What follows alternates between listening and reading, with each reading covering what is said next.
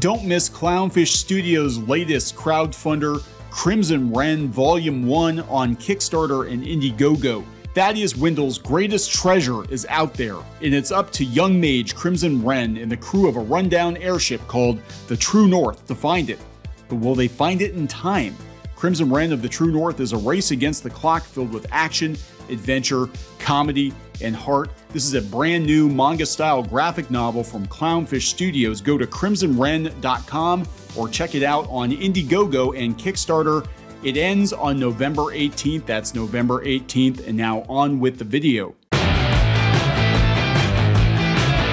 Hey guys, welcome back to Clownfish TV. This is Kneon. We're gonna talk about Final Fantasy 16. Apparently, it's too white. Yes, this uh, this upcoming game developed by Japanese developers, uh, taking place in what looks to be a, a version of Europe. All right, is, definitely a more uh, European flair than than some of the uh, last couple of Final Fantasy games. Uh, apparently, this game is too white it's too white and, and Kotaku and Twitter just will not have it. We're to talk about this because, you know, this is a very typical uh, discussion that comes up on these gaming blogs, which is why most of them are being bought out, shut down. Journalists are getting laid off uh, because they create these nonsense articles about non issues and they try to create controversy where there is none. Uh, I don't think many people in the real world were complaining about Final Fantasy 16 being too white. I, I mean, I guess if you want to have a stereotypical black dude with uh, a fro and a chocobo living in it, again, that's cool, I guess. Weren't they complaining about Barrett being a stereotype too? I don't know. Let's let's talk about this before we get into it any further. Uh, please subscribe for more pop culture news, views, and rants, guys. Uh, over 280, almost 281,000 subs. Thank you so much for the support. Uh, greatly appreciated. We do like games. We like Final Fantasy. Actually, Final Fantasy is one of my favorite game series of all time. Um, that being said, I haven't looked forward to a Final Fantasy game in the main series for quite a while. I think the last game I looked forward to was actually 12, which also had a, a very uh, European bent to it. Um, however, Fran was my favorite character, and she was neither white nor a human. Anyway, uh, anyway, uh, yeah, 16's coming out. At first, I was kind of like, eh, this looks like every Western uh, RPG ever. And then I saw the last trailer. I'm like, no, no, no, I'm sold. I actually want this one. Uh, I actually want to play Final Fantasy 16 uh, for the first time in a very, very long time. So, Kotaku, they've got complaints, and then we're going to talk about uh, Square's response. Now, there's a little bit of backstory here because Square, apparently, according to Bounding Into Comics, uh, has been making comments that they're trying to appeal to a global audience. That being said, I don't think just making uh, European characters brown skinned is necessarily appealing to a global audience. However, there are concerns that Square is going to get censor happy, which they have done. We've seen some of their translations, you know, over the last couple of years. Uh, you know, some of the stuff, yeah, some of the stuff they've censored. You know, they're doing what they think they should be doing based on feedback they're getting from uh, their fellow developers in California you know, which is a grave mistake. you should never listen to California. No, I'm, I'm kidding. I'm kidding. I spent half my childhood there. Um, all right, so Kotaku. Uh, Final Fantasy 16 dev has a terrible answer for why the game is so white. Yoshida feels that racial diversity would be a violation of narrative boundaries. Two weeks ago, Square Enix released a new story trailer for its upcoming RPG Final Fantasy 16, and it looked awesome. There's just one noticeable problem. There doesn't seem to be a single non white character in it. So IGN asked the producer about whether or not the game would feature any black people or other people of color. Unfortunately, oh god, this is so this is so Kotaku. Unfortunately, his response made me go yikes. In real life, oh my god. Yoshida explained that the fantasy world of Valisthea? Valisthea, is that what I want Ivalice again. Come on, can't we go back to Ivalice? Valisthea was based on medieval Europe, and they wanted to limit the world culturally and geographically. Valisthea, Valisthea, whatever it is, was never going to realistically be as diverse as, say, modern day Earth or even Final Fantasy XIV. he said, as if he was being asked to incorporate every race on the entire planet. Ultimately, we felt that while incorporating ethnic diversity into Valisthea was important, an over incorporation into this single corner of a much larger world could end up causing a violation of those narrative boundaries we originally set for ourselves. So basically, they're saying this is a medieval Europe themed Final Fantasy, unlike a lot of the entries uh, lately, which have been more sci fi, more uh, straight up fantasy. I mean, it could be argued that Ivalice was more you know, based on Europe as well, but they had a lot of you know fantasy creatures and stuff like that. Like I said, Fran was my favorite character. I love Fran; she was awesome. Uh, which begs the question: Why did they enforce a whites only boundary in the first place? so history books exist, and uh, you can pick them up at uh, any local library. And uh, if you do some research into medieval Europe, you're not going to see a lot of ethnic diversity. I'm just I'm just saying. I'm not saying it's right or wrong, it just is, okay? Just saying, just saying. After acknowledging that the real world is more diverse than Valisthea, he continued, The story we are telling is fantasy, yes, but it's also rooted in reality. Which is it, Yoshida? You can't say that your fictional world isn't bound to reality and then use reality to explain why black people can't exist in Valisthea. Pick a struggle and stick with it, please. What's really frustrating about all this is that black and brown people have always existed in medieval Europe. Well, that's true. Um, it's true. If the creative leadership had done more research or checked their biases, I mean, it is true, and not not a whole lot of them though. I mean, let's let's be honest. It's it's pretty white in the in in Europe in the medieval times. It's pretty white.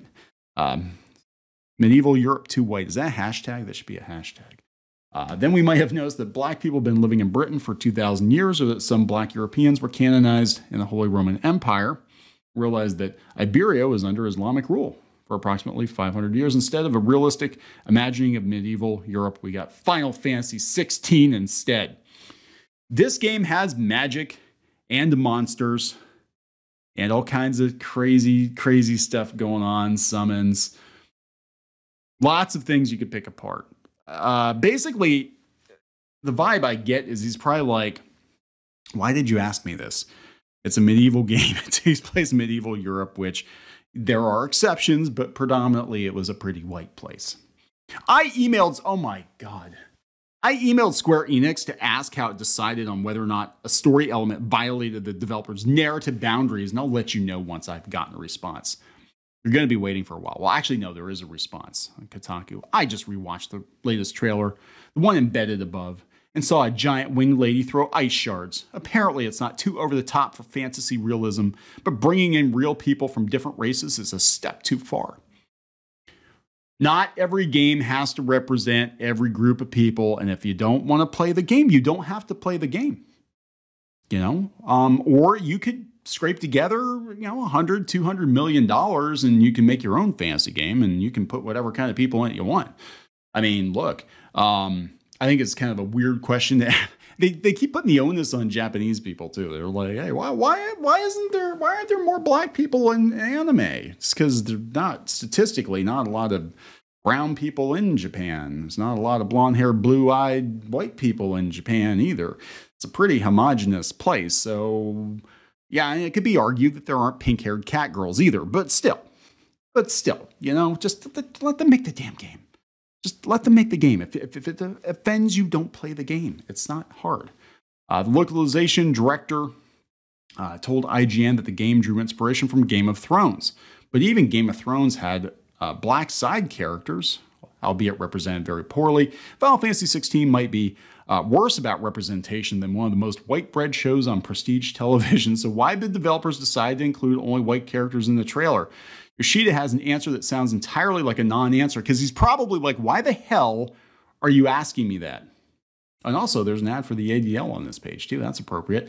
It can be challenging to assign distinctive ethnicities to either antagonist or protagonists without triggering. Oh, this is interesting.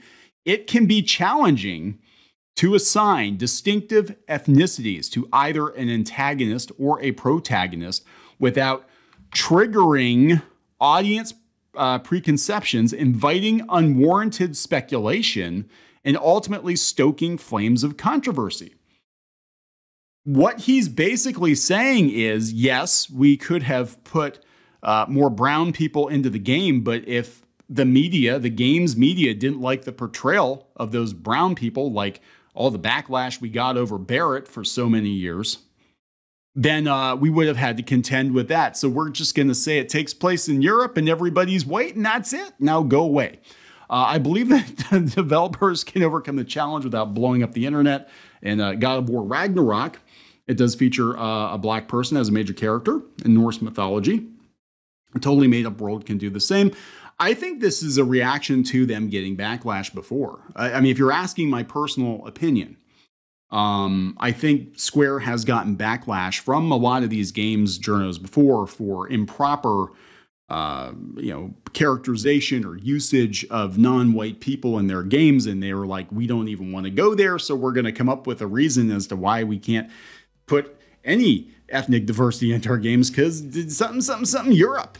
Yep, that's it. Go away. Uh, and that's actually the side effect of all of these media outlets bitching about every damn thing is sometimes these companies just throw their hands up in the air and like, we're not even gonna bother trying because there's no making you happy. No making you happy. No, we're not hiring a sensitivity reader, you know, to go over our, our game because piss off, right? Uh, these new quotes make me feel very cynical about Yoshida's comments from a previous interview. Uh, in August, he said he wanted to revitalize the Final Fantasy series by going back to fantasy. Um, you know? So, anyway, uh, for all that Yoshida is lauded for, for being the man who saved Final Fantasy, his creativity is also limited by a genre that has never been fair to black and brown fans. So, yeah, guys, uh, I think you're. I think you're starting to see some of these companies um, uh, kind of push back a little bit against this. The reason they're doing it is because there's no making there's no making anybody happy, and games journals are to find something to bitch about, and uh, they're like, yeah, no, screw you. Uh, if you're going to be like that, because I, I, do remember Square getting all kinds of backlash for its portrayal of non-white characters in the past. They're probably like, we're not even going to bother. We're not going to bother. Hope you're happy. Uh, this game is going to sell very, very well. Uh, the trailer looks amazing. Um, you know, regardless of the content, regardless of, of this issue, it's not going to affect the sales at all. This is going to sell a shit ton of copies. I guarantee it.